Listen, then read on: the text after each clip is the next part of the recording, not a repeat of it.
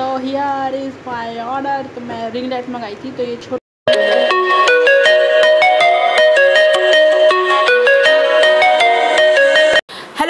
नमस्ते, आप सभी का स्वागत है आज के नए व्लॉग में। तो आज मैं कर रही हूँ व्लॉग और आज का दिन है संडे और ये है मेरा आउटफिट ऑफ़ द डे तो हम लोग जा रहे हैं घूमने संडे की शाम को और हम लोग निकल चुके हैं घर से। तो ये ब्रिज से मुझे ऐसा लगता है कि आधा रायपुर मेरे को दिख जाता है। मुझे ऐसा लगता है, पर नहीं दिखता है। कहाँ दिखेगा? इतना बड़ा है रायपुर तो ये ब्रिज से मुझे जब भी आती हूँ तो ऐसे लगता है कि आराम से खड़े हो जाओ पूरा सिटी देख लो यहीं से खड़े होके। और एक शॉप है पंडरी में वहाँ इतना रोशनी मतलब इतना बिजली वालों जगाते हैं कि पूरा रायपुर जगमगा जाए।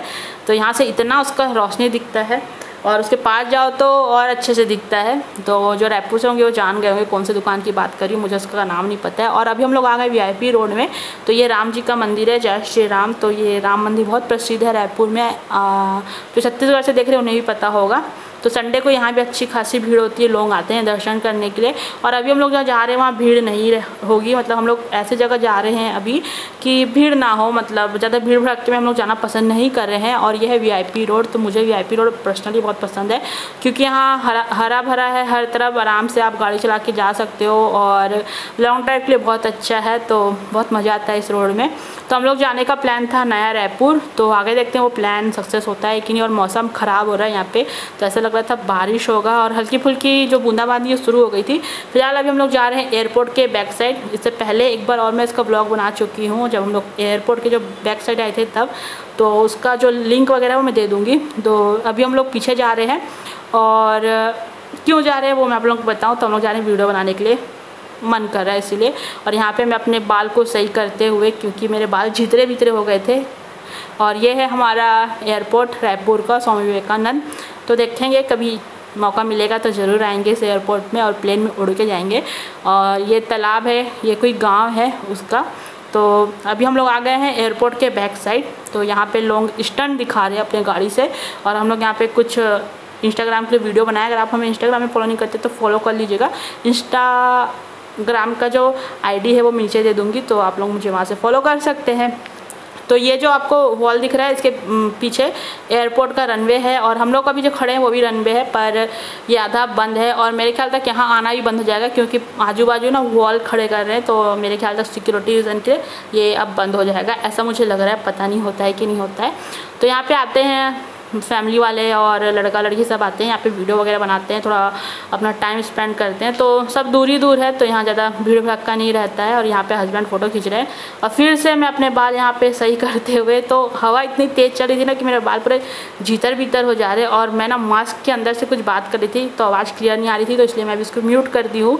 तो देख सकते हैं जितरी बितरी वह तो अब हम लोग निकल रहे हैं यहाँ से, क्योंकि यहाँ पे शुरू हो गई थी बारिश हल्की फुल्की और यहाँ कहीं भी साइड नहीं है कि आप जाके खड़े हो जाओ कुछ देर के लिए। तो इसलिए हम लोग सोचे कि क्यों ना यहाँ से निकला जाए। तो हमारे पास रेनकोट भी नहीं था और छत्ता भी नहीं था। हमारा प्लान था कि हम नया रायपुर जाएँगे, क्योंकि मैं कभी नया रायपुर गई नहीं और मुझे मेरी फ्रेंड से मिलना था उसका नया रायपुर में।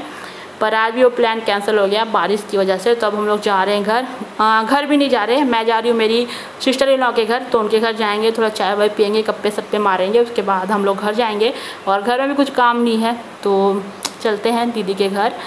और ये रोड फिर से मैं आप लोगों को बोली बहुत अच्छा है।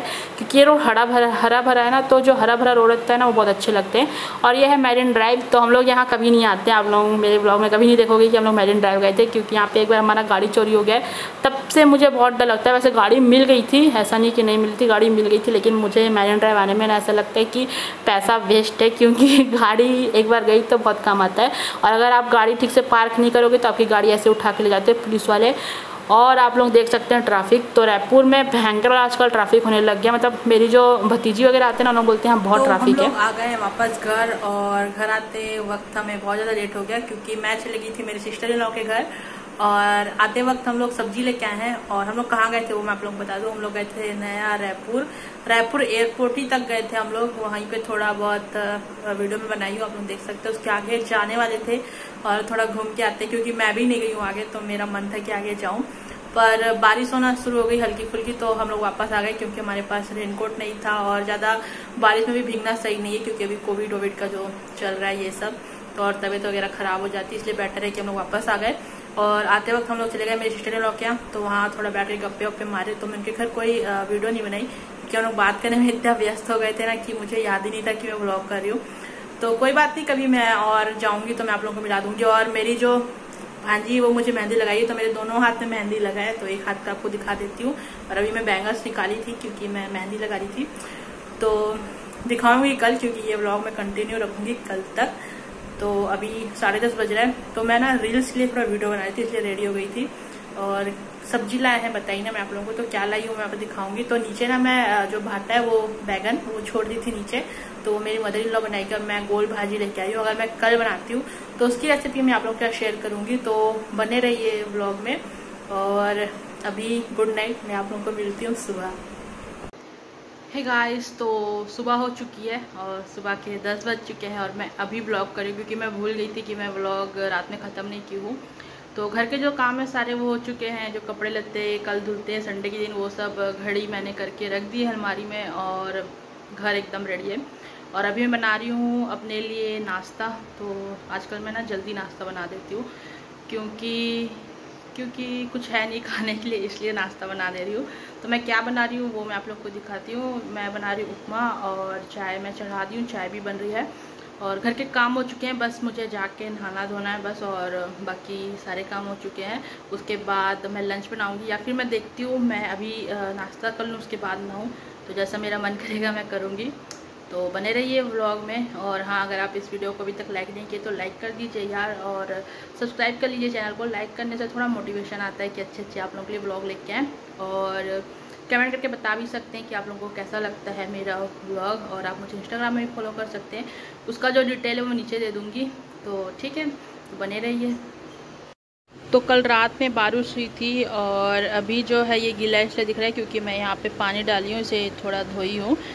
हमारे आँगन को और हल्का फुल्का बूंदाबांदी हो ही रहा है मतलब बरसात बंद नहीं हुई है। हल्की फुल्की गिरी रही है और कपड़े सूखे हैं मेरी मदर इन लॉ के। और चलो मैं कढ़ाई चढ़ा दी हूँ, नाश्ता बना रही हूँ, दिखाती हूँ।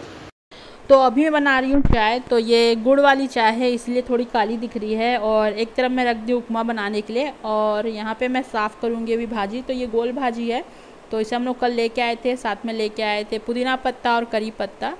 तो यहाँ पे मैं काट पीट के रख ली हूँ प्याज, हरी मिर्ची, जिससे कि मैं उपमा बनाने के लिए यूज़ कर सकूँ। तो इसमें मैं डाल दी हूँ चना दाल और फली और मैं फटाफट उपमा बना रही हूँ, क्योंकि ना नाश्ता करने में लेट हो जाएगा ना तो फिर रात, फिर दिन में ना खाना खाने का मन नहीं करता। इसलिए ना नाश्ता जल्दी जल्दी बना रही हूँ मैं और उपमा फटाक से बन जाता है और खाने में भी अच्छा लगता है। बहुत लोगों को उपमा पसंद नहीं रहता, लेकिन मुझे और मेरे हस्बैंड को उपमा बहुत पसंद है। और ये बॉटल्स को ना आजकल मैं भर के रख लेती हूँ पानी तो हम लोग क्या करते हैं, इसे पीते रहते हैं, जिससे हम लोग हाइड्रेट रहते हैं। तो इसे मैं ना भर के टीवी के पास रख दूँगी और यहाँ पे मैं सूजी में पानी ऐड कर दी हूँ और इसे थोड़ा तेज़ आँच में पकने दूँगी, जिससे कि इसका जो पानी है वो सूख जाएगा। तो पानी सूख जाएगा ना, वैसे ही हमारा उपमा बन के रेडी हो जाएगा। तो यहाँ पे उपमा बन के तैयार है। और इस गर्म पानी में मैं ऐड कर दी थी पुदीना पत्ता डिटॉक्स वाटर बनाने के लिए, और यहाँ पर मैं पानी ला के रख दी हूँ। और आजकल ना मैं अपने घर के हर कोने में सैनिटाइज़र रखती हूँ, जिससे कि हम लोग हमारा हाथ सैनिटाइज करते रहे। और यहाँ पर मैं अपना नाश्ता लेके आ गई हूँ। तो मैं अपने हस्बैंड का वेट कर रही थी कि वो आएँगे तो हम दोनों साथ में नाश्ता करेंगे। तो वो मुझे फ़ोन करके बोले कि उन्हें आने में लेट हो जाएगा, क्योंकि वो गए हैं वैक्सीनेशन के लिए। तो उनका जो ऑनलाइन बुकिंग है वैक्सीनेशन का वो हो नहीं पा रहा है तो वो डायरेक्ट गए हैं हॉस्पिटल वैक्सीन लगवाने, पर पता नहीं उन्हें आज ही मिलता है कि नहीं, क्योंकि दो तीन दिन से वो जा ही रहे थे। तो देखते हैं तो इसलिए वो मुझे फ़ोन करके बोले कि नाश्ता कर लो। तो मैं नाश्ता कर रही हूँ और मैं ना उपमा में ऐड कर दी थी ऊपर से थोड़ा सा शक्कर और चाय लेके आई हूँ। तो बस ये मेरा नाश्ता है। अब मैं इंजॉय करती हूँ मेरा उपमा और चाय। और अब मैं यहाँ पे तैयारी कर रही हूँ भाजी बनाने की। तो गोल भाजी बहुत ही अच्छा होता है हेल्थ के लिए।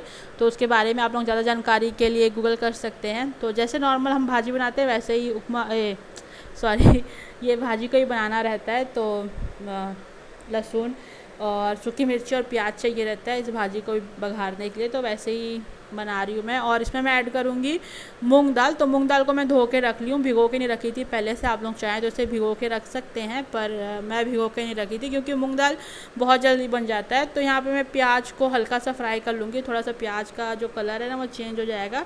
उसके बाद हम भाजी को ऐड करेंगे। तो भाजी, कोई भी भाजी हो, उसको तीन से चार बार अच्छे से धोना पड़ता है। क्योंकि ना, भाजी में मिट्टी लगे रहती है। तो मिट्टी अगर सब्ज़ी में आती है ना तो अच्छा नहीं लगता है। क्योंकि जब भी हम सब्ज़ी में चम्मच चलाते ना तो कड़ंग कड़ंग आवाज़ आता है तो पता चल जाता है कि इसमें मिट्टी रह गई है। तो इसलिए अच्छे से भाजी को धो के फिर उसे पकाइए। तो यहाँ पे मैं भाजी को डाल दी हूँ कढ़ाई में और अब मैं इसमें ऐड कर दूँगी मूंग दाल। तो मूंग दाल को मैं मिक्स नहीं करूँगी, गैस को धीमा करके और मूंग दाल को भाजी के ऊपर रख के ढक के धीमी आँच में पकने दूँगी, जिससे कि मूँग दाल पक मतलब थोड़ा अच्छे से गल जाए। और उसके बाद हम इसमें ऐड करेंगे टमाटर। तो टमाटर आपकी मर्ज़ी है, डालना तो डाली नहीं तो मत डालिए, क्योंकि बहुत लोग ना टमाटर नहीं डालते बहुत सारी सब्ज़ी में, पर मैं ना डाल देती हूँ टमाटर। और यहाँ पे मैं अब ऐड कर दूँगी मूंग दाल। तो मूंग दाल ऐड करने के बाद मैं इसे अच्छे चम्मच चला दी थी और अब इसमें मैं ऐड करी हूँ टमाटर। तो इसमें मैं नमक भी ऐड कर दी हूँ और अब हम लोग वेट करेंगे टमाटर के पकने का। और जो मूंग दाल है वो पक चुकी है तो टमाटर थोड़ा सा पक जाए, उसके बाद हमारी जो सब्ज़ी वो बन के रेडी हो जाएगी। तो एक तरफ़ मैं रख दी हूँ कढ़ाई तो इसमें मैं बनाऊँगी मशरूम तो ये जो मशरूम की सब्ज़ी की रेसिपी है, वो पहली बार ट्राई कर रही हूँ तो इसे मैं गूगल में देखी थी। तो यहाँ पे मैं कढ़ाई में तेल ऐड कर दी हूँ। तेल जैसे गर्म होगा, हम इसमें ऐड करेंगे प्याज। तो प्याज ऐड करने के बाद हम इसे थोड़ा फ्राई कर लेंगे, हल्का सा मतलब ज़्यादा नहीं फ्राई करना है। उसके बाद मैं इसमें ऐड करूँगी लहसुन। तो लहसुन को ना अच्छे से मस्त बारीक चॉप करके ऐड कर करना है और ज़्यादा लहसुन ऐड कीजिएगा क्योंकि इसमें जो लहसुन का फ्लेवर है, बहुत ही अच्छा था सब्ज़ी में और ये बहुत ही टेस्टी लगता है। तो यहाँ पे मैं ऐड कर दी हूँ लहसुन और इसे भी हल्का सा फ्राई कर लूँगी तेल में। तो प्याज और लहसुन डालना है बघार में तो जैसे ही थोड़ा सा ये हल्का फ्राई हो जाएगा, इसमें हम ऐड करेंगे मशरूम जिसे हम लोग काट के, साफ़ करके अच्छे से धो के मैं रख ली हूँ एक तरफ़। तो थोड़ा सा हल्का सा मैं फ्राई होने का वेट कर रही हूँ लहसुन और प्याज का। तो जैसे ही थोड़ा फ्राई हो जाएँगे ना, तब हमें इसमें ऐड करना है हमारा मशरूम।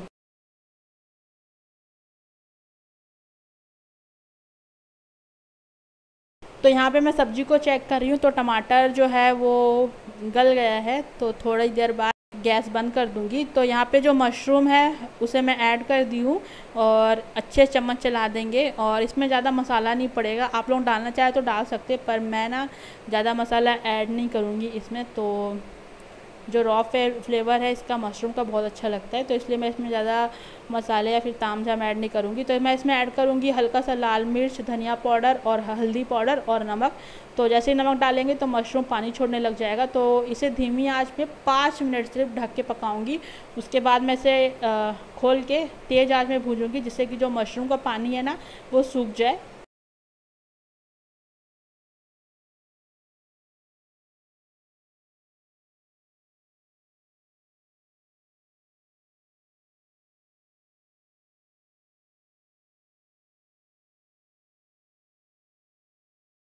तो यहाँ पे मैं आटा सान रही हूँ, क्योंकि आजकल मैं क्या करती हूँ, रोटी साथ में ही दिन में बना लेती हूँ, शाम को नहीं बनाती हूँ मैं रोटी। और ये जो भाजी है, ये हो चुका है तो इसका थोड़ा सा मैं पानी सुखा रही थी, लेकिन फिर मैं सोची कि मशरूम ना सूखा सूखा सब्ज़ी तो इसलिए मैं बेटर है कि इसमें थोड़ा सा पानी रहने देती हूँ। और यहाँ पर आप लोग देख सकते हैं, जो मशरूम है, वो अच्छे से फ्राई हो चुका है, और खाने में बहुत टेस्टी लगता है। तो आप लोग भी इसको ऐसे बना के देख लीजिएगा, बहुत ही अच्छा लगता है। तो यहाँ पे जो रोटी है वो बन के रेडी हो गई है। नीचे से आलू, बैगन का सब्ज़ी है मशरूम की सब्ज़ी तैयार है और गोल भाजी और मूंग दाल की सब्ज़ी भी रेडी है, चावल भी बन गया। तो हमारा जो लंच है और जो डिनर है वो बन के रेडी हो चुका है। तो अब मैं इसे सिर्फ़ शाम को एक बार गर्म करूँगी। तो अब हम लोग चलते हैं बाहर।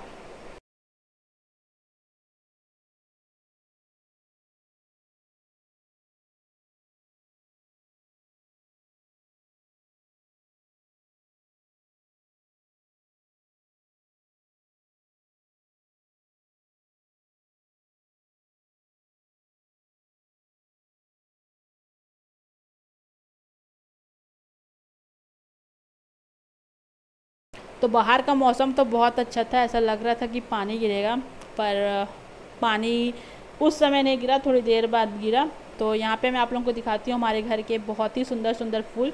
तो हमारे घर में ना तीन चार रोज़ आए हैं तो ये दो तीन दिन पुराने हो चुके हैं और अब ये लोग मुरझाने लग गए। तो हम लोग ना रोज़ को तोड़ते नहीं हैं, अगर गुलाब फूल आते हैं हमारे पेड़ में ना तो उसे रहने देते हैं और पेड़ में मुरझाने देते हैं। और इसे हम लोग तोड़ते नहीं हैं, क्योंकि पेड़ों में बहुत अच्छे लगते हैं, इसीलिए। तो अभी थोड़े सूख जाएँगे ना थोड़े अच्छे से तो मैं इसका जो क्या करती हूँ, जो डंगाल है ना वो काट देती हूँ और जो इसके जो फूल है और जो इसकी स्टेम है, वो इसके जड़ के पास रख देती हूँ। तो फेंकती नहीं हूँ मैं और पीले फूल हम लोग यूज़ कर लेते हैं भगवान को चढ़ाने के लिए। और ये जो पीला फूल है, इसे क्या कहते हैं पता नहीं है, तुलसी के पेड़ के साथ हमारे आया है तो बहुत ही सुंदर दिख रहा है। और पीछे में भी इसके छोटे छोटे फूल दिख रहे हैं आपको तो ये छोटे छोटे फूल है ना पता नहीं इसे क्या बोलते हैं, ये भी फूल बहुत सुंदर दिखते हैं। हम लोग इसको ना पूजा के लिए यूज़ कर लेते हैं और बहुत ही बढ़िया मौसम हो रहा है और अब मैं जा रही हूँ नीचे तो मुझे कॉल आया है डिलीवरी बॉय का। तो मैं बहुत एक्साइटेड हूँ आज जो जो सामान आया उसके लिए, क्योंकि मैं बहुत दिन से चाहती थी कि मेरे पास भी ये सामान होना चाहिए। तो आज फाइनली वो मैं रिसीव करने जा रही हूँ, जिसे मैं ऑर्डर की थी अमेजोन से। और क्या है वो मैं आप लोग को बताऊँगी। वैसे तो कोई भी सामान आता था ना ऑनलाइन तो मैं मतलब ऑनलाइन सामान मंगाती थी, जो डिलीवरी करना आता था, वो मैं लेने जाती थी। पर आज मैं खुद गई वो लेने के लिए, क्योंकि मैं बहुत एक्साइटेड हूँ इसे खोलने के लिए। तो मैं नहीं चाहती थी कोई बच्चे या फिर कोई लेके आए, उसे तोड़ दें। तो इसलिए मैं नीचे गई थी और नीचे से मैं सामान लेके जा रही हूँ ऊपर। तो क्या है, मैं आप लोगों को दिखाऊँगी और आप ही लोगों के साथ मैं इसका अनबॉक्स करूँगी। तो बहुत एक्साइटेड हूँ मैं। और सबसे पहले मैं अपने हस्बैंड को दिखाऊँगी, क्योंकि कुछ भी सामान मैं परचेज़ करती हूँ तो मैं उनको ज़रूर दिखाती हूँ कि मैं ये मंगवाई थी या फिर ये मैं लेके आई हूँ। तो देखते हैं उनका क्या रिएक्शन होता है। तो चलिए इसे फटाफट अनबॉक्स करते हैं। सबसे पहले इसे करेंगे हम सैनिटाइज़ क्योंकि सैनिटाइज़ करना बहुत ज़रूरी है। अभी कोविड ख़त्म नहीं हुआ और मेरा मेहंदी देख सकते हैं आप लोग तो मैं मेहंदी दिखाना भूल गई थी। बहुत अच्छा कलर आया था मेहंदी का और बहुत अच्छा डिज़ाइन डाला था मेरी भांजी ने। तो मैं मंगवाई हूँ रिंग लाइट तो आप लोग देख सकते हैं। तो ये छोटे साइज़ का रिंग लाइट है और ये ज़्यादा एडवांस नहीं है मतलब नॉर्मल है। इसका, इसमें ज़्यादा फीचर नहीं है, सिर्फ़ इसमें दो तीन कलर चेंज होता है। इसका रिव्यू मैं अलग से बनाऊँगी, ये कैसा है, क्या है, थोड़े दिन यूज़ करके। और इसका जो प्राइस है वो हज़ार रुपये ही है, ज़्यादा महँगा नहीं है। तो ये रिंग लाइट है, छोटे साइज़ का और इसे कैसे लगाना है कैसे इसको पूरा असेंबल करना है, वो सब मेरे हस्बैंड करेंगे क्योंकि मुझे कुछ समझ में ही नहीं आ रहा था। निकाल तो मैं दी थी, पर समझ में नहीं आ रहा था कैसे करना है, क्या करना है। और कुछ कुछ जो इसका जो असेंबल करने का तरीका है, वो तो मैं यूट्यूब से देख देख के बता रही थी मेरे हस्बैंड को, क्योंकि मुझे और उनको समझ में ही नहीं आ रहा था। तो ये है हमारा रिंग लाइट टेंटन और इसका हाइट बहुत अच्छा है। और अभी बरसात हो रहा है और हम लोग कर रहे हैं लंच साथ में। और ये जो ब्लॉग है ना, मैं यहीं पे ख़त्म करूँगी, क्योंकि ब्लॉग बहुत लंबा हो गया है। तो आई होप आप लोगों को आज का ब्लॉग अच्छा लगा हो। यहाँ तक देखा है ब्लॉग अच्छा लगा तो ब्लॉग को ज़रूर लाइक करके जाइएगा चैनल को ज़रूर सब्सक्राइब कीजिएगा और आप लोग वैक्सीनेशन लगा लिए हैं क्या, ज़रूर बताइएगा। तो हमारा लंच देख सकते हैं आप लोग। तो आज का जो ब्लॉग है, मैं यहीं पर ख़त्म करती हूँ। आप लोगों को मिलेगा नेक्स्ट ब्लॉग में। बाय